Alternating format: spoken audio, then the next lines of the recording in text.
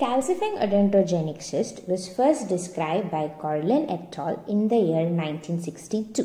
Because of his contribution, it was termed as Gorlin cyst. But again, irrespective of the name, it has no relationship whatsoever with the syndrome Gorlin-Goltz syndrome. Now, calcifying odontogenic cyst can be defined as a rare well circumscribed, solid or cystic lesion which is derived from the odontogenic epithelium. Now, this entity resembles the follicular variant of ameloblastoma.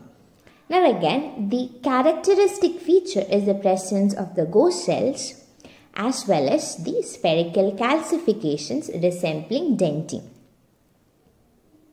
Now, Gorlin, when he first described this entity, noticed the presence of ghost cells as well as the spherical calcifications. He also appreciated its resemblance to the cutaneous lesion pilomatrixoma, which also had the presence of ghost cell. This entity was also called as calcifying epithelioma of Malherbe hence favoring its naming also. Now, this particular entity was surrounded by lots of controversies, especially those concerning its pathogenesis as well as its histopathological variations. Now, the four factors were considered. First one was the existence of two variants of this lesion, that is a cystic variant and a solid or a neoplastic variant. The second one was that it had a variable clinical as well as histopathological features. That is, though it was considered as a cyst, it greatly resembled a dentinogenic ghost cell tumor or an odontogenic cell carcinoma. Now, it is also seen to be associated with other odontogenic tumors, most commonly odontoma, but other tumors like AOT or ameloblastoma were also seen to occur with this lesion. Classification, if you want to talk about the classification, the first one was described by Praetorius in their 1981 who divided it into a cystic lesion and a neoplastic lesion. Now the cystic lesions are further divided into simple unicystic and odontoma producing type and then lastly the ameloblastomatous producing type. The neoplasm was the dentinogenic ghost cell tumor. Now, Toida et al. in their 1998 divided it again into a cystic, a neoplasm and a combined lesion. So, the cystic lesion was the calcifying ghost cell odontogenic cyst. The neoplasm had the benign calcifying ghost cell odontogenic tumor. Then, there was a cystic variant of the same lesion. Then, a solid variant. And then finally, a malignant variant. Now, the combined lesion was when any of this category was seen in association with an odontogenic lesion like an odontoma, ameloblastoma or any other odontogenic tumor.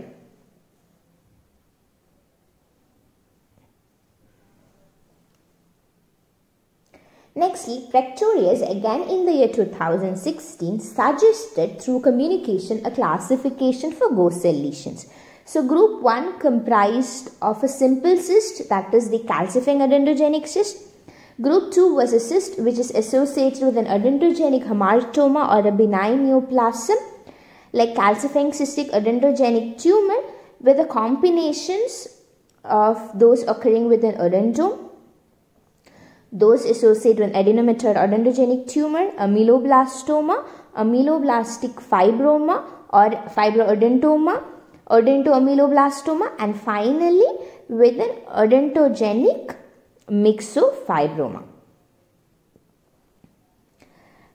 Now the group 3 comprised of those solid benign odontogenic neoplasms which had similar cell morphology as that of a COC with dentin formation that is a dentinogenic ghost cell tumor. And type 4 was a malignant neoplasm which resembled dentinogenic ghost cell tumor which is the ghost cell carcinoma. Now, what happens or what is the place of this particular cyst in WHO classification? So in the year 1992, it was classified as a cyst that is COC. In the 2005, it was put as a tumor that is the calcifying cystic odontogenic tumor which is a mixed lesion. Now in the 2017, WHO again reclassified as, as a cyst. Why so many changes? Why this was happening? It's so confusing.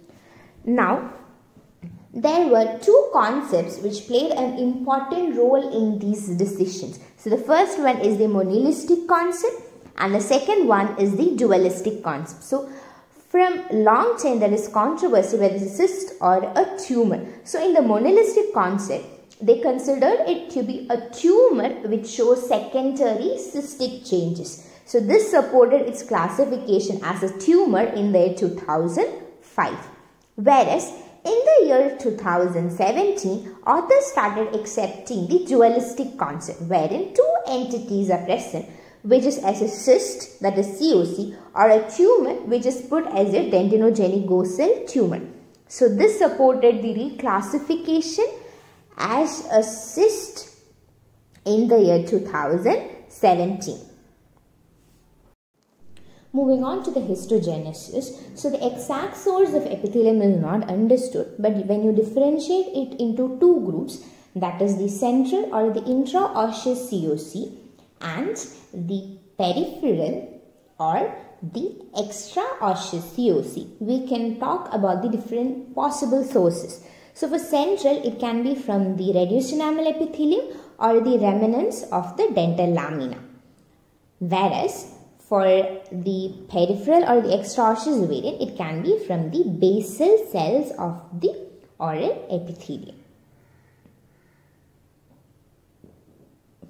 Now, um, talking about the clinical aspects of this lesion, so when we uh, see the age group, it has more of a wide age group uh, uh, affecting anyone between the age of 1 to 82 years and being more common in the second decade. Now, sex and racial predilections are not there and the most common site is the anterior jaw with the mandibular lesions often crossing the peripheral uh, midline. Whereas in peripheral lesions, both the maxillary as well as the mandibular gingiva and alveolar mucosa anterior to the first molar are commonly affected. Now, 50% of the cases, the most common complaint is swelling and pain again is a rare occurrence for this group of patients. Central lesions will reveal a hard bony expansion which can be fairly extensive. Again, in few cases, lingual expansion or perforation of the cortical plate extending into the soft tissue resembling a peripheral lesion is seen. Peripheral lesions again can be pink to red in color.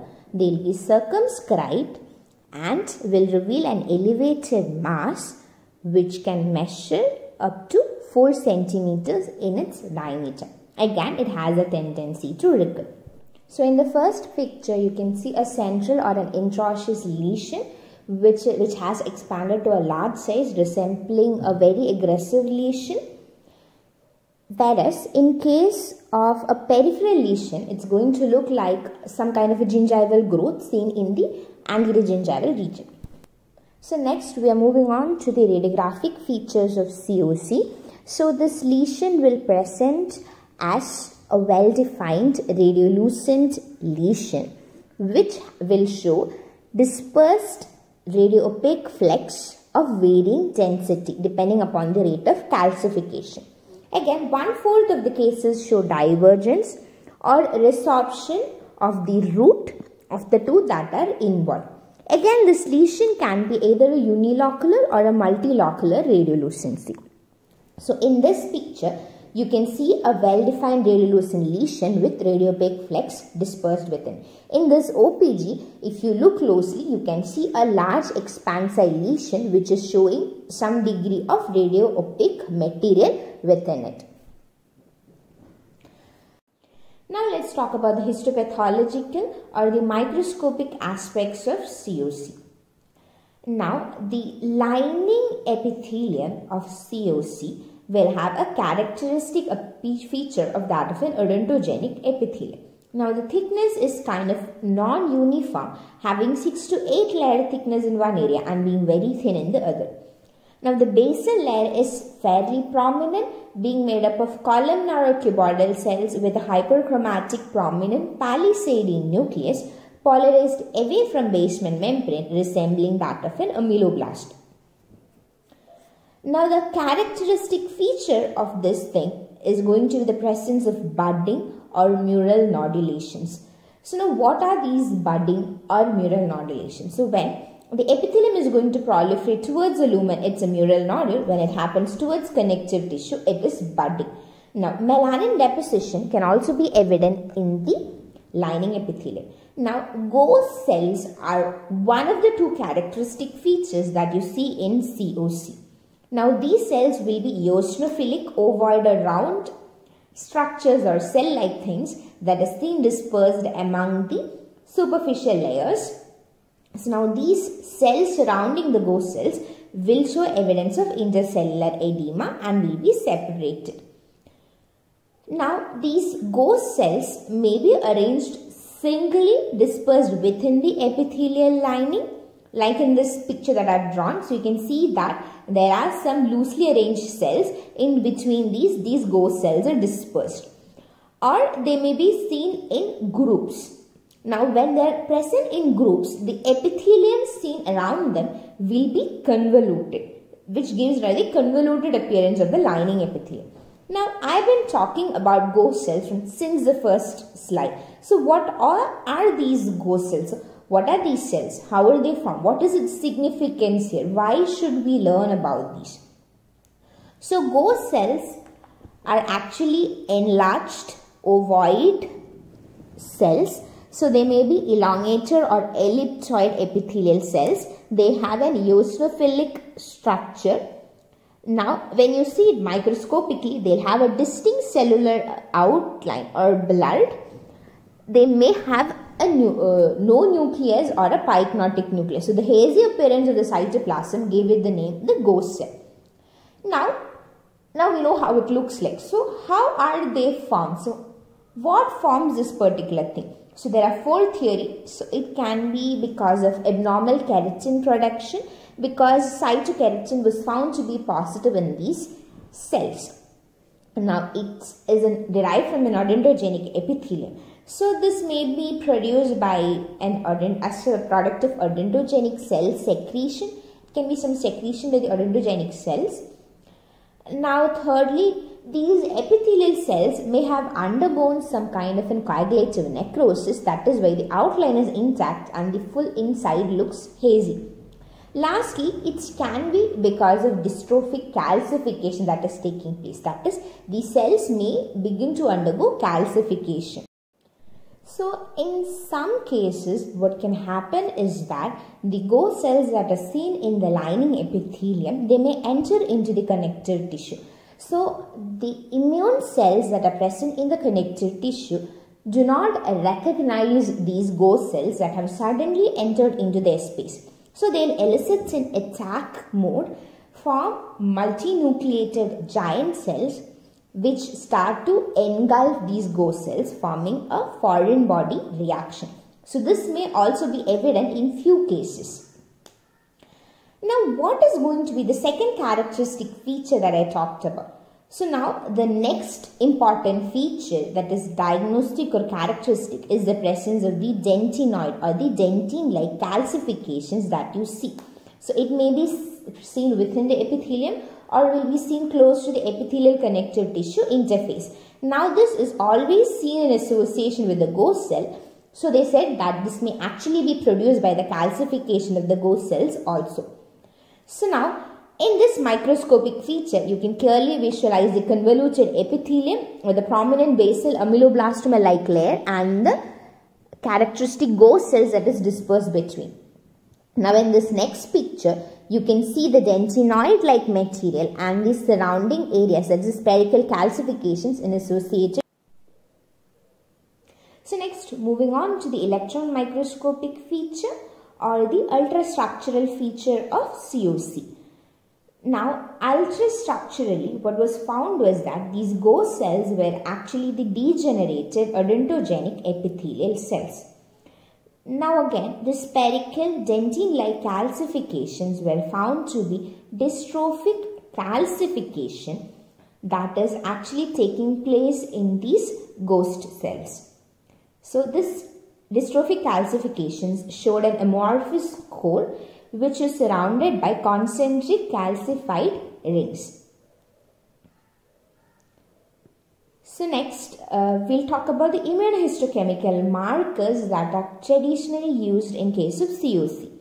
So these are your cytokeratin 7, 8, 14 and 19, Ki67, beta-catenin, then amelogenesis related proteins because calcified material is there. This may also help in identification then the matrix metalloproteinases, the hard alpha keratin, uh, podoplanin, and then the apoptotic marker which is BCL2.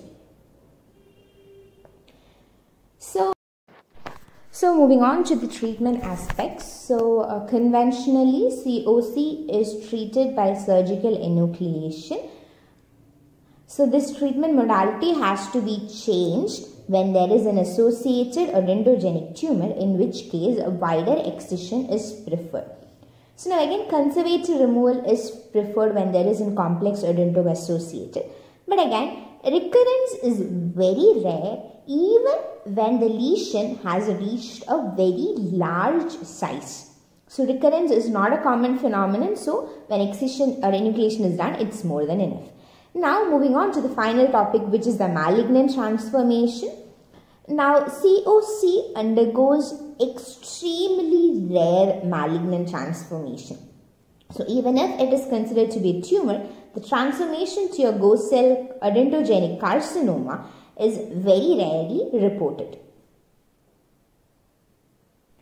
I hope you like this video. Please press the like button and subscribe to our channel and do give your feedback in the form of comments. Thank you and have a nice day.